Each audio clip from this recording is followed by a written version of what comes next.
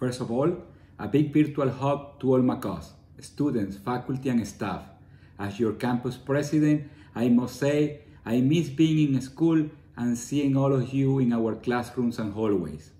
As I have said before, nothing gives me greater joy than seeing students accomplish their goals, and I'm sure we will be back soon.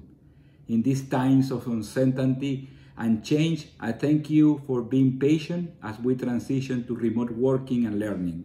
As the week comes to an end, I would like to congratulate our academic department, faculty members, and especially our students for finishing this first week without setbacks.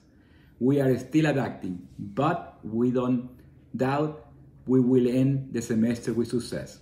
At MAU, we want to let our students know that their satisfaction is our priority. From a distance, we are still here to support you along the way of your academic road and to listen to your concerns. Therefore, our staff is available to support our students. I know that we are all anxious and nervous in this crisis.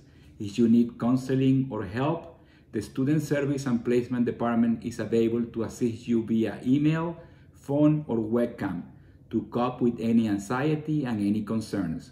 Our academic tutoring services are available via webcam, and our library servers are also available via the web.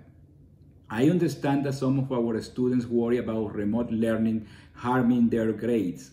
However, I can assure you that we have a great faculty that understands the worries and they are aware of the challenges of these difficult times.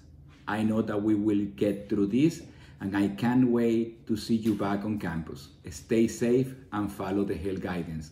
Go Macaws. Thank you.